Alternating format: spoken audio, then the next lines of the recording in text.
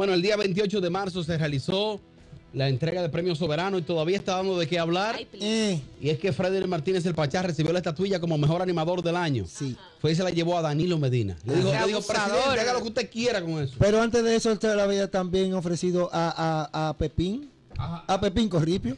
Pero ¿y por qué le anda con eso todavía? Porque si te dan un premio eso es para tú tenerlo en tu casa. Sí, pero sonó feo de que con eso, sonó feo con eso. Con Ah, la espérate, estatuilla. espérate. Con- mira, estatuilla y eso. Ah. Amigo, deje la estatuilla en su casa. Él se la llevó a Danilo Medina y le dijo al presidente de la República, presidente, eso es suyo, eso se lo ganó usted. Una pregunta. Y Danilo le dijo, sí? pero Pachá, está bien, Pachá, ¿qué hacemos? No, quédese con ella. Una pregunta. El Pachá compra dos vuelos. Uno para él y otro para la estatuilla. Cada vez que viene. Ay, hombre. asiento. Tiene que pagar un asiento. Ya no viaja con la niña. Ay, Entonces, eh, Ah, ese fue un premio muy, muy merecido. El Pachá es un gran animador. Para mí, el Pachá es un super animador. Él recibió este premio como mejor animador del año. Pero ¿qué va a hacer Danilo con esa estatuilla? Que no, que no. Se la dejó allá. Encima del escritorio del presidente. De que eso es suyo. Yo quiero saber cuáles son las expectativas del señor Frederick. ¿Qué él Se- pretende? seguir ganando. Pero, ok, pero ¿y cuál es la necesidad? Bu- buscar sonido, eso es lo que él quiere. Me dicen por aquí, Belice de los Santos, nuestra querida amiga Ibe, que el presidente tenía que pegársela en la cabeza. No, no, no, pero Normal. tampoco así. No, no, pero Y ve- tampoco así. Yo creo y que sí. mandarlo a sacar al Sao. Ahora, un tipo desprendido que va y le lleva una estatuilla a un presidente. Claro. Pero Adal, ¿qué podría Danilo hacer con esa estatuilla? De pizza papel la puedo utilizar. Aló, buenas. Acá Gilbert otra vez. Mira, voy a llamar para el joven que dijo que dure tres semanas sin llamar, para que tenga que apagar el radio o tirarse de un puente. Hoy, ¿por qué? Nadie me va a callar mi boca aquí. Tanta Porque yo violencia. estoy tratando mi minuto, no lo de él. Ayúdame Gilbert, te voy a aconsejar que te, tienes que aprender a ser más paciente ante las críticas. Pues si tú le vas a responder a todo el mundo, tú, vas- tú te vas a complicar. ¿Y cuál fue la gata que maulló ahorita? Que yo no le escuché bien lo que dijo. Hoy,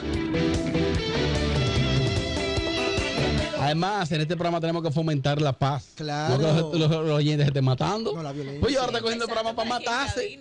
¡Aló!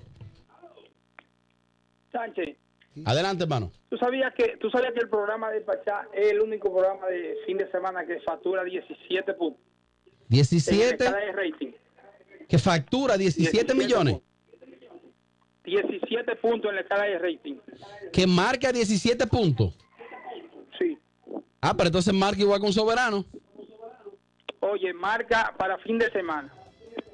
Leo, Entonces lo demás Leo, para que tú tengas una lo idea, escuchan ellos mismos. para que tú tengas una idea. El programa de Raymond y Porque Miguel, eh, eso, eso es sin, sin pacharsear ninguna, si no los números están ahí. Leo, tú me oyes. Dime, hermano. Yo tengo acceso a los ratings que envía la empresa AGB. Para que tú tengas una idea, no sé de, de dónde salen esos números que tú obtienes y no lo quiero poner en duda. Los programas de fin de No, semana que. Aló, escúchame, Leo. Los programas dominicanos que más marcan los fines de semana, o que más marcaban hasta hace un tiempecito aquí eran A Reír con Miguel y Raymond, y aquí se habla español, y los dos, cuando marcaban mucho, estaban por los tres puntos, casi cuatro.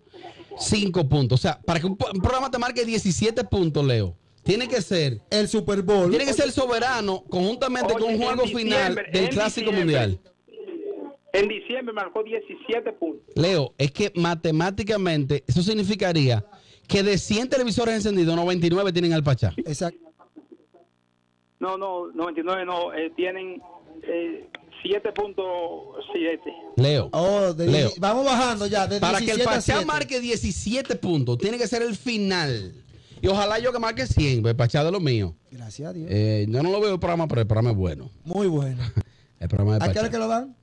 No, pero el programa de Pachá es bueno. Yo programa bueno. veo. ¿Tú no lo ves, Denis? Sí. Ahora, el Pachá le da todo a, a- a Pepín Corripio, que Sí. es dueño, dueño de otra planta televisora. Ujú. Lo reconoce 30% y todo. Pero al dueño de Colorvisión, ¿por qué no le dio la estatuilla a él? No se la llevó a él. No te entiendo, Aval. Pero cuántas pendejadas en la farándula local.